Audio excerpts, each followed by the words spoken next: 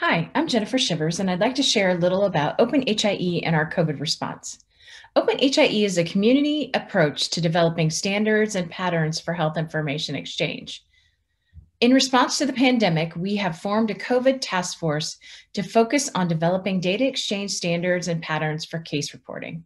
Our goal is to create the foundations for countries to be able to quickly stand up local case reporting while case reporting is currently focused on COVID, our work is intended to be able to be a foundation that can support broader use cases and continue to contribute to Open HIE and the Open HIE architecture and community.